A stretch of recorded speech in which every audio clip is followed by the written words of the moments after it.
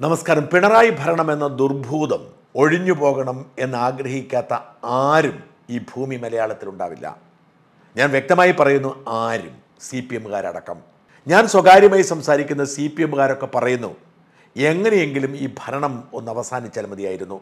പിണറായി ഇനി ഭരണത്തിൽ തുടർന്നാൽ സി പി ഐ എം ഇല്ലാതാകുമെന്ന് അവർക്കൊക്കെ അറിയാം. അവരൊക്കെ ആഗ്രഹിക്കുന്നത് പിണറായി ഇപ്പോൾ രാജിവെക്കണമെന്നും പകരം ശൈലജ ടീച്ചർ മുഖ്യമന്ത്രിയായി ചുമതലയേൽക്കണമെന്നുമാണ്. അങ്ങനെയെങ്കിൽ മാത്രമേ അടുത്ത തെരഞ്ഞെടുപ്പിൽ ജനങ്ങളുടെ മുമ്പിലേക്ക് പോകാൻ കഴിയൂ എന്ന് സി പി എമ്മുകാർ പറയുന്നു.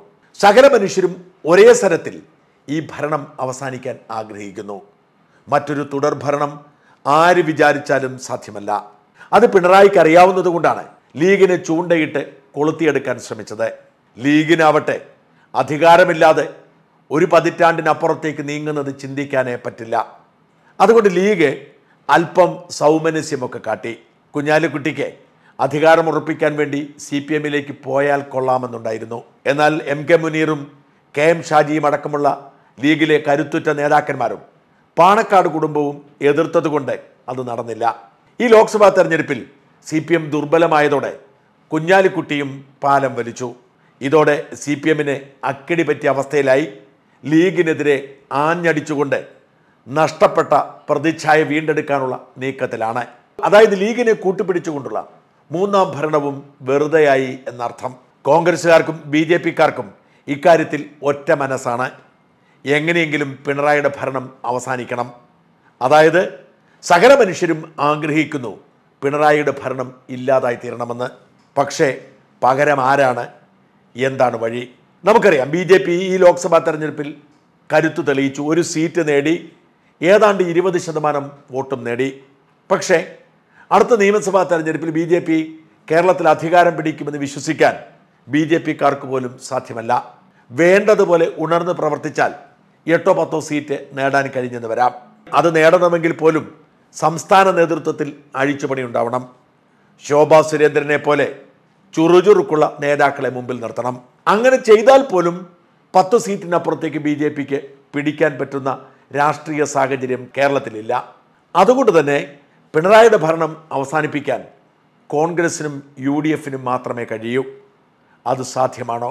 ജനങ്ങൾ ആഗ്രഹിച്ചാലും യു ഡി എഫുകാർ ആഗ്രഹിച്ചില്ലെങ്കിൽ പിന്നെന്ത് ചെയ്യും? കോൺഗ്രസ്സുകാർക്കും യു ഡി എഫിലെ മറ്റ് ഘടകകക്ഷികൾക്കും ഒരു താല്പര്യവുമില്ല എന്നതാണ് വാസ്തവം. ആരെയാണ് മുൻപിൽ നിർത്തേണ്ടത് എന്നതിനെക്കുറിച്ച് പോലും അവർക്ക് ഇതുവരെ ധാരണയില്ല.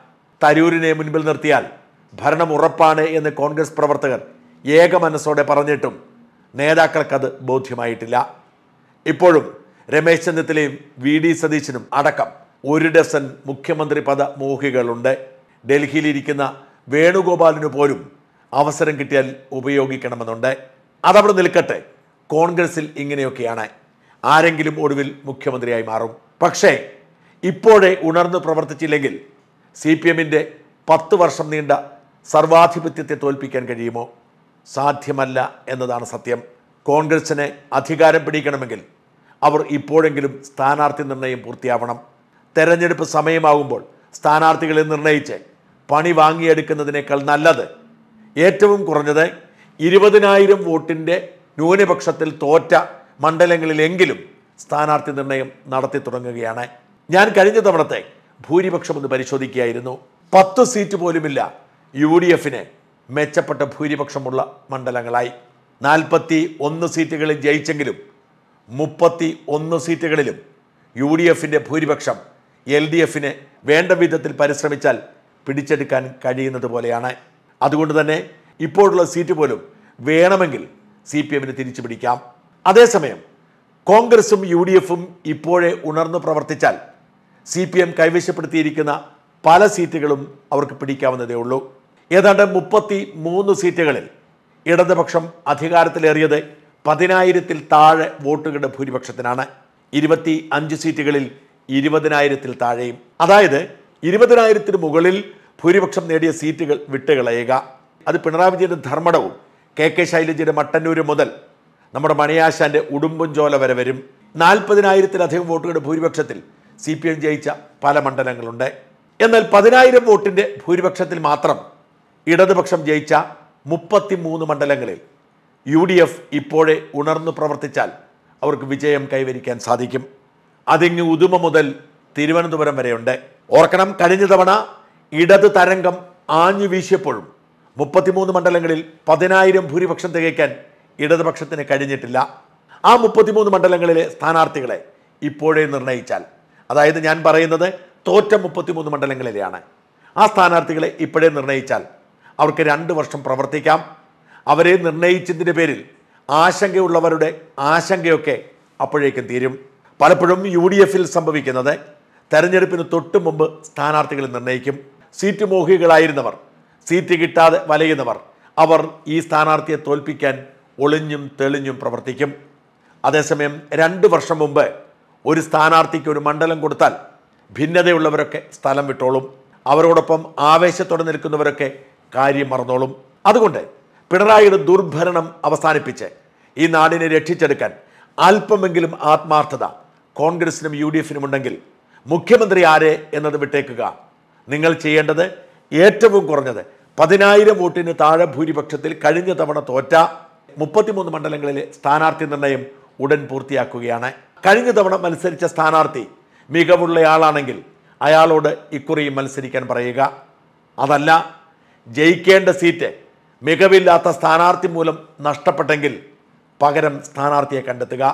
അത് അടിയന്തരമായി ചെയ്ത് അവരെ കളത്തിലിറക്കിയില്ലെങ്കിൽ യു ഡി എഫിന് കച്ചി തൊടാൻ കഴിഞ്ഞെന്ന് വരില്ല ലീഗിന്റെ കൊത്തക്കൊട്ടളങ്ങൾ പോലും നഷ്ടപ്പെട്ട തെരഞ്ഞെടുപ്പാണ് കഴിഞ്ഞതെന്ന് മറക്കരുത്. കേരളത്തെ രക്ഷിക്കാൻ യു ഡി എഫിന് ആഗ്രഹമുണ്ടെങ്കിൽ അവർ എല്ലാ ഭിന്നതകളും മറന്ന് കഴിഞ്ഞ തവണ പതിനായിരം വോട്ടിൽ താഴെ തോറ്റ മണ്ഡലങ്ങൾ ആദ്യം സ്ഥാനാർത്ഥി നിർണയം പൂർത്തിയാക്കുക. രണ്ടാമതായി ഇരുപതിനായിരം വോട്ടിൽ താഴെ തോറ്റ ഇരുപത്തഞ്ച് മണ്ഡലങ്ങളിലും സ്ഥാനാർത്ഥി നിർണയം പൂർത്തിയാക്കുക. അങ്ങനെ ഈ അൻപത്തിയെട്ട് സീറ്റുകൾ കേന്ദ്രീകരിച്ചുകൊണ്ട് യു ഡി എഫ് പ്രവർത്തനം ആരംഭിച്ചാൽ അവർക്ക് നാൽപ്പത് സീറ്റെങ്കിലും നേടാൻ കഴിഞ്ഞെന്ന് വരാം. ഒരു കാര്യം യു ഡി എഫ് മറക്കരുത്. രണ്ടായിരത്തി പതിനൊന്നിൽ കേവലം രണ്ട് സീറ്റുകളുടെ ഭൂരിപക്ഷം മാത്രമായിരുന്നു യു ഡി എഫിനുണ്ടായിരുന്നത് അടുത്ത തെരഞ്ഞെടുപ്പിൽ പത്ത് സീറ്റിൽ ബി ജെ പി ജയിക്കാനുള്ള സാധ്യതയുണ്ട്. ബി ജെ പി ഒന്നോ രണ്ടോ സീറ്റിൽ ജയിച്ചാൽ പോലും ഇടതു മുന്നണിക്ക് കേവല ഭൂരിപക്ഷം കിട്ടിയില്ലെങ്കിൽ പോലും യു ഡി എഫിന് അധികാരം ഉറപ്പല്ല. അതുകൊണ്ട് തന്നെ അടിയന്തരമായി യു ഡി എഫ് മുപ്പത്തിമൂന്ന് മണ്ഡലങ്ങളിലെങ്കിലും സീറ്റ് നിർണയം നടത്തി സ്ഥാനാർത്ഥികളെ രംഗത്തിറക്കിയില്ലെങ്കിൽ ഇനിയും അഞ്ചു വർഷം കൂടി ഈ നാട് പിണറായി സത്തെ സഹിക്കേണ്ടി വരും. അഞ്ചു വർഷം കൂടി അവർ ഭരിച്ചാൽ അതായത് ഇപ്പോഴത്തെ തുടർഭരണം അഞ്ചു കൊല്ലം കൂടി നീണ്ടാൽ പിന്നെ സി പി എമ്മിന്റെ അവസ്ഥ ബംഗാളിലേതാകും? തർക്കമൊന്നും വേണ്ട. കോൺഗ്രസ്സുകാർ ആഗ്രഹിക്കുന്നില്ലെങ്കിൽ കൂടി ജനം സി പി എമ്മുകാരെ കല്ലെറിഞ്ഞോടിക്കും. പക്ഷേ അഞ്ചു വർഷം താങ്ങാനുള്ള ശേഷി ഈ നാടിനില്ലാത്തതിനാൽ എത്രയും വേഗം യു ഡി എഫ് ഈ സീറ്റുകളിലെങ്കിലും സ്ഥാനാർത്ഥി നിർണയം നടത്തി കളത്തിലിറങ്ങണമെന്ന് വിനീതമായി അഭ്യർത്ഥിക്കുന്നു.